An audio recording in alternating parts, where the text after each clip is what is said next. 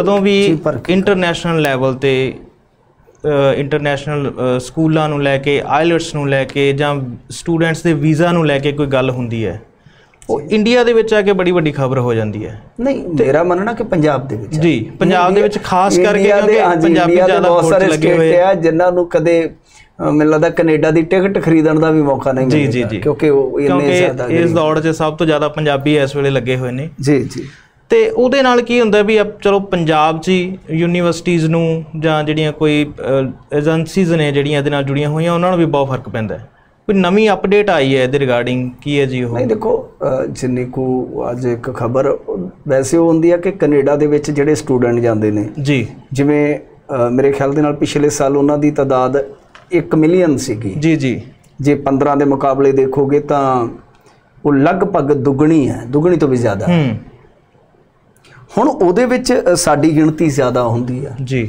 ਤਾਂ ਜਿਵੇਂ ਸਟੂਡੈਂਟ ਜਾਂਦੇ ਨੇ ਤਿਵੇਂ ਨਾਲ ਪਰਿਵਾਰ ਵੀ ਜੁੜੇ ਹੁੰਦੇ ਰਿਸ਼ਤੇਦਾਰ ਵੀ ਜੁੜੇ ਹੁੰਦੇ ਜਦ ਉੱਥੋਂ ਕੋਈ ਖਬਰ ਨਿਕਲਦੀ ਹੈ। ਇੱਥੋਂ ਦੇ ਅਦਾਰੇ ਜਿਹੜੇ ਆ ਨਾ ਉਹਨੂੰ ਸਨਸਨੀ ਖੇਜ਼ ਕਰਕੇ ਜਿਹੜਾ ਹੈ ਨਾ ਉਹ ਪੇਸ਼ ਕਰਦੇ ਆ। ਤਾਂ ਕਿ ਉਹਨਾਂ ਨੂੰ ਹਿੱਟ ਵੱਜੇ। ਜੀ। ਠੀਕ ਹੈ ਜੀ? ਲਾਈਕ ਵਿਊਜ਼ ਆਉਣ ਉਹਨਾਂ। ਗੇਮ ਇਹੀ ਹੁੰਦੀ ਆ। ਕਿ ਕੈਨੇਡਾ ਚ ਆ ਹੋ ਗਿਆ ਆ ਹੋ ਗਿਆ। ਜੀ ਜੀ। ਵੇਖੋ ਕੈਨੇਡਾ ਨੇ ਆਪਣੀ ਭਰਪੂਰ ਕਮਾਈ ਕੀਤੀ। ਹੂੰ। ਉੱਥੇ ਹੁਣ ਸੰਕਟ ਖੜਾ ਹੋ ਗਿਆ। ਜੀ। ਇੰਟਰਨਲੀ ਮੈਨੂੰ ਕਦੇ ਹਵਾਈ ਅੱਡੇ ਤੱਕ ਜਾਣ ਦਾ ਮੌਕਾ ਨਹੀਂ ਮਿਲਿਆ। ਜੀ। ਪਰ ਕਿਉਂਕਿ ਮੈਂ ਲੰਮੇ ਸਮੇਂ ਤੋਂ ਕੈਨੇਡਾ ਦੇ ਮੀਡੀਆ ਨਾਲ ਜੁੜਿਆ ਹੋਇਆ। ਹਾਂ ਹੂੰ ਹੂੰ। ਹੂੰ ਮੇਰੇ ਬਹੁਤ ਸਾਰੇ ਆਪਣੇ ਦੋਸਤ ਮਿੱਤਰ ਪੱਤਰਕਾਰ ਸਾਥੀ ਉੱਥੇ ਵਸਦੇ ਆ। ਜੀ ਜੀ। ਤਾਂ ਉਹ ਗੱਲਾਂ ਬਾਤਾਂ ਜਦੋਂ ਚੱਲਦੀਆਂ ਤਾਂ ਉੱਥੋਂ ਜਾਣਕਾਰੀਆਂ ਜੋ ਮਿਲਦੀਆਂ ਮੈਂ ਉਹਦੇ ਆਧਾਰ ਤੇ ਕਹਿੰਦਾ ਨਾ ਮੈਂ ਕੋਈ ਵੀਜ਼ਾ ਐਕਸਪਰਟ ਆ। ਜੀ। ਨਾ ਕੋਈ ਮੈਂ ਸਟੱਡੀ ਐਕਸਪਰਟ ਜੀ। ਮੈਂ ਜਿਹੜੀ ਗੱਲ ਲਓ ਕਿ ਮੰਨਣ ਵਾਲੀ ਹੁੰਦੀ ਆ ਆਪਾਂ ਮੰਨ ਜਾਈਦੀ ਆ। ਜੀ ਬਿਲਕੁਲ। ਤਾਂ ਗੱਲ ਇਹ ਆ ਕਿ ਹੁਣ ਉੱਥੇ ਉਹਨਾਂ ਨੇ ਕੋਈ ਹੁਕਮ ਦਿੱਤਾ ਹੈ, ਜਿਹੜੇ ਮਿਲਰ ਸਾਹਿਬ ਨੇ। ਜੀ। ਉਹਨਾਂ ਨੇ ਆਖਿਆ ਕਿ ਬਈ ਜਿਹੜੀਆਂ ਯੂਨੀਵਰਸਿਟੀਆਂ ਜਾਂ ਕਾਲਜ ਜਿਹੜੇ ਆ ਉਹ ਸਟੂਡੈਂਟਾਂ ਨੂੰ ਖਾਸ ਤੌਰ ਤੇ ਇੰਟਰਨੈਸ਼ਨਲ ਸਟੂਡੈਂਟਾਂ ਨੂੰ ਇੰਟਰਨੈਸ਼ਨਲ ਸਟੂਡੈਂਟ ਤੋਂ ਭਾਵ ਕੀ ਹੁੰਦਾ ਹੈ ਕਿ ਜਿਹੜੇ ਬਾਹਰਲੇ ਸਟੂਡੈਂਟ ਆ ਉਹ ਚਾਈਨੀਜ਼ ਵੀ ਹੋ ਸਕਦੇ ਇੰਡੀਅਨ ਵੀ ਹੋ ਸਕਦੇ ਆ ਜੋ ਮਰਜ਼ੀ ਆ। ਜੀ। ਉਹ ਇੰਟਰਨੈਸ਼ਨਲ ਸਟੂਡੈਂਟ ਹੀ ਸ਼ਬਦ ਇਸਤੇਮਾਲ ਕਰਦੇ ਨੇ। ਉਹਨਾਂ ਨੇ ਕਿਹਾ ਕਿ ਜੋ ਕਾਲਜ ਯੂਨੀਵਰਸਿਟੀ ਜੋ ਵੀ ਉੱਥੇ ਹੈ ਤਾਂ ਬਈ ਉਹ ਜੇਕਰ ਸਟੂਡੈਂਟ ਨੂੰ ਟਰੈਕ ਕਰਨ ਚ ਅਸਫਲ ਰਹਿੰਦੇ ਆ ਜੀ। ਤਾਂ ਅਸੀਂ ਉਹਨਾਂ ਦਾ ਜੋ ਸਟੱਡੀ ਪਰਮਿਟ ਹੈ ਫਿਰ ਰੱਦ ਕਰਨ ਦਾ ਸੋਚਾਂਗੇ। ਜੀ ਜੀ ਜੀ। ਉਹਦੇ ਚ ਕੀ ਹੈ ਕਿਉਂਕਿ ਉਹ ਦੇਖੋ ਹੁਣ ਜਦੋਂ ਸਟੱਡੀ ਪੂਰੀ ਕੀਤੀ ਕਿਸੇ ਨੇ ਵਰਕ ਪਰਮਿਟ ਤੱਕ ਜਾਣਾ ਉਹ ਸਾਰੀਆਂ ਚੀਜ਼ਾਂ ਹੁਣ ਯਕੀਨੀ ਬਣਾ ਰਹੇ ਆ ਕਿ ਹਾਜ਼ਰੀਆਂ ਹੂਜਰੀਆਂ ਭਾਈ ਜਾਂ ਕੰਮ ਬਾਹਰ ਕਿਤੇ ਚੋਰੀ ਤਾਂ ਨਹੀਂ ਕਰਦਾ। ਜੀ। ਉੱਥੇ ਵੀ ਜਗਾੜੂ ਕਾਲਜ ਬਹੁਤ ਜੇ। ਜੀ ਜੀ। ਇਹ ਵੀ ਤੁਹਾਨੂੰ ਮੈਂ ਜਿਵੇਂ ਇੱਥੇ ਆਪਣੇ ਪੰਜਾਬ ਦੇ ਵਿੱਚ ਬਹੁਤ ਸਾਰੇ ਜਗਾੜੂ ਕਾਲਜਾਂ ਨੇ। ਬਿਲਕੁਲ ਬਿਲਕੁਲ। ਸਕਾਲਰਸ਼ਿਪ ਦਾ ਪੈਸਾ ਮਾਰਿਆ। ਜੀ। ਉੱਥੇ ਵੀ ਜਗਾੜੂ ਆ ਕੰਮ। ਹੂੰ। ਇਹ ਨਹੀਂ ਹੈ ਕਿ ਸਾਰਾ ਕੁਝ ਜਿਹੜਾ ਹੈ ਉਹ ਇਦਾਂ ਬਿਲਕੁਲ, ਚੱਲਦਾ। ਸੋ ਇਸ ਕਰਕੇ ਇਹ ਹੀ ਆਪਾਂ ਨੂੰ ਤਾਂ ਪਤਾ ਹੈ ਬਹੁਤੇ ਪੰਜਾਬੀ ਮੁੰਡੇ ਕੁੜੀਆਂ ਜਿਹੜੇ ਆ ਉਹ ਉੱਥੇ ਕੋਈ ਸਟੱਡੀ ਵਾਸਤੇ ਤੇ ਜਾਂਦੇ ਜੀ ਨਹੀਂ। ਜੀ ਜੀ ਬਿਲਕੁਲ। ਮਸਲਾ ਤੇ ਸੈਟਲਡ ਹੋਣ ਦਾ ਹੁੰਦਾ ਹੈ ਨਾ। ਜੀ ਜੀ। ਸੋ ਇਸ ਕਰਕੇ ਉਹ ਇੱਕ ਨਿਯਮ ਇੱਕ ਤਰ੍ਹਾਂ ਨਾਲ ਕਹਿ ਲਓ ਥੋੜਾ ਸਖਤ ਕਰਨ ਦਾ ਉਹਨਾਂ ਨੇ ਤਹਈਆ ਕੀਤਾ। ਜੀ। ਤਾਂ ਉਹ ਆਪਣੇ ਇਧਰ ਸੰਦ ਇਹ ਹੋ ਗਿਆ ਕੈਨੇਡਾ ਚ ਹੋ ਗਿਆ। ਹਾਂ ਉਹਨਾਂ ਨੇ ਕੈਪ ਲਾ ਦਿੱਤੀ ਸੀਗੀ। ਉਹ ਇਸ ਕਰਕੇ ਕਿ ਵਕਤੀ ਤੌਰ ਤੇ ਉਹ ਕੈਪ ਹੁੰਦੀ ਆ 4 ਸਾਲ ਉਹ ਕੱਢਣਗੇ। ਜੀ। ਪੈਸਾ ਉਹਨਾਂ ਨੇ ਕਮਾ ਲਿਆ ਇਹਨਾਂ ਤੋਂ। ਫਿਰ ਉਹ ਲਿਮਟਿਡ ਗਿਣਤੀ ਕਰਕੇ ਉਸ ਤੋਂ ਬਾਅਦ ਜਦੋਂ ਘਰਾਂ ਘੁਰਾਂ ਦੀ ਸਮੱਸਿਆ ਉੱਥੇ ਦੂਰ ਹੋ ਜਾਏਗੀ। ਜੀ ਜੀ ਜੀ। ਜਾਂ ਹੋਰ ਉੱਥੇ ਥੋੜਾ ਰੈਸੈਸ਼ਨ ਦਾ ਵੀ ਹੈਗਾ ਕਿ ਕੰਮ ਕਰ ਜਦੋਂ ਗਰਮ ਹੋ ਜਾਏਗਾ ਸਰਕਾਰ ਵੇਖੋ ਗਾਂ ਹੁਣ ਕਿਹਦੀ ਆਉਂਦੀ ਆ। ਤਾਂ ਉਸ ਤੋਂ ਬਾਅਦ ਉਹ ਫਿਰ ਚੀਜ਼ਾਂ ਜਿਹੜੀਆਂ ਚੱਲਣ ਲੱਗ ਜਾਣਗੀਆਂ ਹੋਰ। ਜੀ ਜੀ। ਚਲੋ।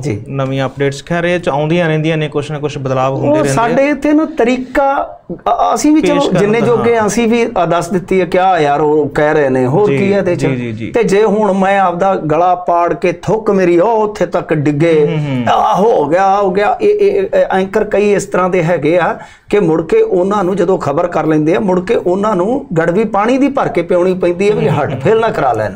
ਉਹ ਸਨਸਨੀ ਖੇਜ਼ ਹੈ ਬਣਾਉਣ ਦੇ ਚੱਕਰ 'ਚ। ਇਸ ਤਰ੍ਹਾਂ ਹੋ ਜਾਂਦਾ ਹੈ। ਜੀ ਜੀ ਮਿੰਟੂ ਜੀ ਆਪਾਂ ਅਗਲੀ ਖਬਰ ਤੋਂ ਪਹਿਲਾਂ ਇੱਕ ਦੋ ਕਮੈਂਟ ਲੈ ਲਈਏ। ਤਜਿੰਦਰ ਜੀ ਦਾ ਹੈਗਾ ਮੈਸੇਜ ਕਹਿੰਦੇ ਕਿ ਮਿੰਟੂ ਜੀ ਹਾਈ ਕੋਰਟ ਕਹਿ ਰਹੀ ਹੈ ਕਿ ਸ਼ਾਟਗਨ ਦੀ ਕੋਈ ਗੋਲੀ ਵੱਜੀ ਹੈ ਸ਼ੁਭਕਰਨ ਸਿੰਘ ਦੇ ਮਾਮਲੇ 'ਚ। ਉਹਨਾਂ ਦਾ ਪ੍ਰਤੀਕਰਮ। ਪਹਿਲੀ ਗੱਲ ਤੇਜਿੰਦਰ ਸਿੰਘ ਜੀ ਜਿਹੜੀਆਂ ਗੱਲਾਂ ਤੁਸੀਂ ਕਰਦੇ ਪਏ ਮੈਂ ਤੁਹਾਡਾ ਮੈਸੇਜ WhatsApp ਤੇ ਵੀ ਪੜਿਆ ਜੀ। ਗੱਲ ਇਹ ਕਿ ਇਹ ਗੱਲਾਂ ਅਸੀਂ 4 ਮਹੀਨੇ ਪਹਿਲਾਂ ਕਰ ਦਿੱਤੀਆਂ ਸੀਗੀਆਂ। ਜੀ ਜੀ। ਜਦੋਂ ਸ਼ੁਭਕਰਨ ਸਿੰਘ ਦੀ ਮੌਤ ਹੋਈ ਆ ਪੈਲਟ ਗਨ ਤੇ ਜਿਹੜੀ ਸਾਡੀ ਰੈਗੂਲਰ ਆਡੀਅנס ਆ ਨਾ। ਉਹਨਾਂ ਨੂੰ ਪਤਾ ਪੈਲਟ ਗਨ ਤੇ ਬਕਾਇਦਾ। ਬਕਾਇਦਾ ਆਪਾਂ ਖੁੱਲ ਕੇ ਗੱਲ ਕੀਤੀ ਸੀ ਕਿ ਇਹ ਬੈਂਡ ਆ। ਜੀ ਜੀ। ਜਦੋਂ ਇਹ ਬੰਦ ਆ ਤੇ ਜੇ ਉਹਦੀ ਵਰਤੋਂ ਹੋ ਰਹੀ ਹੈ ਤਾਂ ਚੋਰੀ ਹੋ ਰਹੀ ਹੈ ਰਿਕਾਰਡ 'ਚ ਥੋੜੀ ਹੋ ਰਹੀ ਹੈ ਤਾਂ ਹਾਈ ਕੋਰਟ ਨੇ ਰਿਕਾਰਡ ਵੇਖ ਕੇ ਕਹਿਣਾ ਹੈ ਜੀ।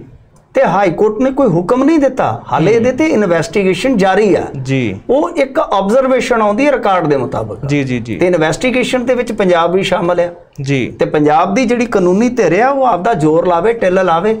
ਜੀ। ਤੇ ਮੈਂ ਤੇ ਕਹਿੰਦਾ ਕਿ ਕਿਸਾਨਾਂ ਨੂੰ ਚਾਹੀਦਾ ਕਿ ਉਹ ਵੀ ਆਪਣਾ ਇੱਕ ਵੱਡਾ ਵਕੀਲ ਜਿਹੜਾ ਹੈ ਉਹ ਉੱਥੇ ਖਿਲਾਰਨ। ਬਿਲਕੁਲ। ਠੀਕ ਹੈ ਨਾ ਜੀ? ਆਪਣਾ ਪੱਖ ਰੱਖੋ। ਕਿ ਜਿਹੜੀਆਂ ਇਸ ਤਰ੍ਹਾਂ ਦੀਆਂ ਚੀਜ਼ਾਂ ਵਰਤੀਆਂ ਜਾਂਦੀਆਂ ਨੇ ਕਿ ਬਈ ਉਹ ਰਿਕਾਰਡ 'ਚ ਥੋੜੀ ਜਿਹੀ ਰੱਖਦੇ ਆ। ਜੀ। ਇੱਥੇ ਤੇ ਥਾਣਿਆਂ ਦੇ ਵਿੱਚ ਟੁੱਟੇ ਪੁੱਟੇ ਪਿਸਤੌਲ ਰੱਖੇ ਜਾਂਦੇ ਸੀ ਪਹਿਲਾਂ। ਹੁਣ ਤਾਂ ਤੇ ਮੈਨੂੰ ਪਤਾ ਨਹੀਂ। ਹੈ। ਅਸੀਂ ਵੇਖੇ ਆ। ਕਿ। ਚੱਕੋ ਆ ਦੇ ਤੇ ਫਿੱਟ ਕਰ ਦਿਓ। ਹੂੰ। ਹੁਣ ਵੀ ਹੈਗਾ। ਇੰਦਰਜੀਤ ਕੋਲੋਂ ਕੀ ਫੜੀਚਾ ਸੀਗਾ? ਹੂੰ। ਉਹਨਾਂ ਨੇ ਉਹ ਸਾਰਾ ਸਮਾਨ ਰੱਖਿਆ ਹੋਇਆ ਸੀਗਾ। ਜੀ। ਕਿ ਹਾਂ ਭਾਈ ਆ ਫਿੱਟ ਕਰਨਾ ਜਿਹਦੇ ਤੇ ਉਹ ਕਰ ਦਿਆਂਗੇ। ਜੀ। ਇਸ ਤਰ੍ਹਾਂ ਨਸ਼ਾ ਪੱਤਾ ਵੀ ਰੱਖਿਆ ਜਾਂਦਾ ਅਸਲਾ ਵੀ ਰੱਖਿਆ ਜਾਂਦਾ।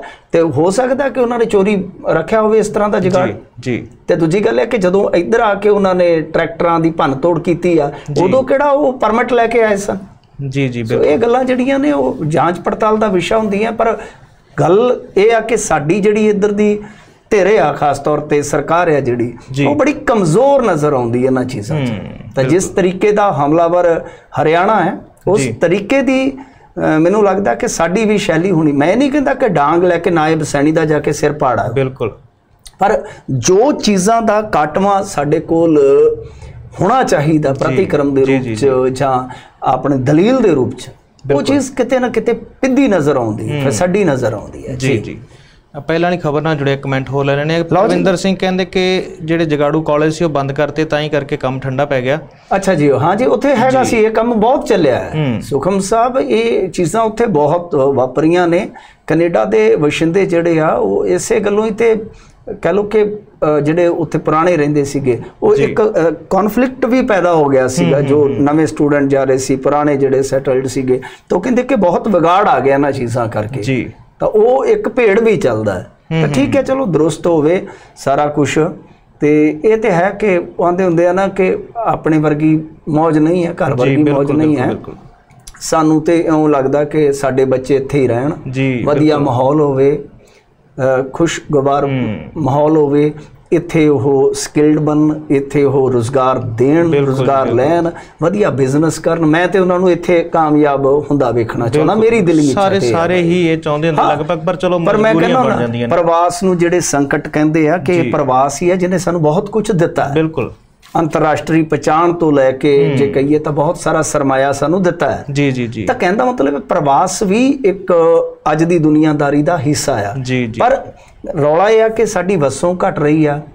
ਸਾਡੀ ਪ੍ਰਜਨਨ ਦਰ ਜਿਹੜੀ ਆ ਬਹੁਤ ਘਟ ਗਈ ਆ। ਜੀ। ਇੱਕ ਮਤਲਬ ਕਿ ਨਾਰਮਲ ਪ੍ਰਜਨਨ ਦਰ ਮਤਲਬ ਜੰਮਣ ਦਰ ਕਹਿ ਦਈਏ ਜੀ ਪੰਜਾਬੀ ਜੀ। ਬਿਲਕੁਲ ਬਿਲਕੁਲ। ਤਾਂ ਉਹ ਚੀਜ਼ਾਂ ਦੇ ਮੱਦੇਨਜ਼ਰ ਅ, ਮੇਰੀ ਤੇ ਦਿਲੀ ਇੱਛਾ ਇਹੋ ਆ ਕਿ ਵੱਧ ਤੋਂ ਵੱਧ ਬੱਚਿਆਂ ਨੂੰ ਇੱਥੇ ਬਿਜ਼ਨਸ ਅਸੀਂ ਕਰਵਾਈਏ। ਹੂੰ। ਵੱਧ ਤੋਂ ਵੱਧ ਬੱਚੇ ਇੱਥੇ ਯੂਪੀਐਸਸੀ ਕ੍ਰੈਕ ਕਰਨ ਆਈਪੀਐਸ ਬਣਨ ਡਿਪਟੀ ਕਮਿਸ਼ਨਰ ਬਣਨ।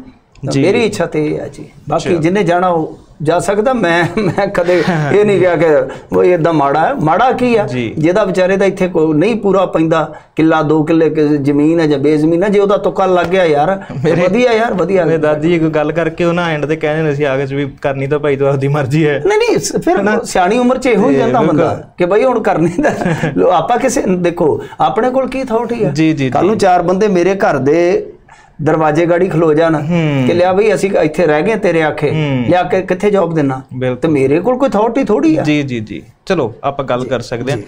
ਪੁਰਤਗਾਲ ਨੇ ਵੀ ਮਨਦੀਪ ਜੀ ਕਹਿੰਦੇ ਕਿ ਇਮੀਗ੍ਰੇਸ਼ਨ ਅਣਮਿੱਥੇ ਸਮੇਂ ਲਈ ਬੰਦ ਕਰਤੇ ਆ। ਇਹ ਸਾਰੇ ਪਾਸੇ ਦੇਖੋ ਸੁਖਮ ਸਾਹਿਬ ਯੂਕੇ 'ਚ ਕੀ ਹਾਲ ਹੋਇਆ? ਉਹਨਾਂ ਦੀ ਆਰਥਿਕਤਾ ਦਾ ਕੀ ਹਾਲ ਹੈ ਹੂੰ ਹੂੰ ਹੂੰ।